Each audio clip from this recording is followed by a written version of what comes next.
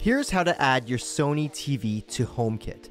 This should work with most Sony TVs from around 2019 and on, but for a complete list of Sony TVs compatible with HomeKit, just go to Apple's site or visit our links in the pinned comment and you can check out if your model is compatible. So from the home screen of your TV, go to Dashboard, go to Settings by clicking the gear icon in the top right corner, then scroll down to System.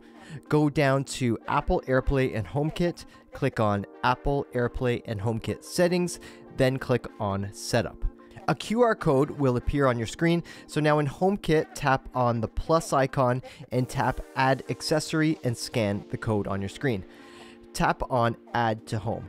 Your TV will ask if you want to allow mobile devices to turn on this TV. Using your TV remote, select Allow. So next in HomeKit, select which area this TV is in. So we'll choose basement main area, choose a name for the TV or just leave the model number in there, then tap on continue.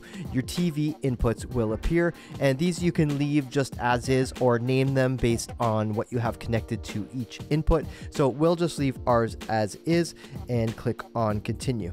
So for now, we're not going to do any automations. We can program these later on. So we'll just click on continue. It says TV added to my home, so now tap on done. And with your TV remote, hit enter on done as well.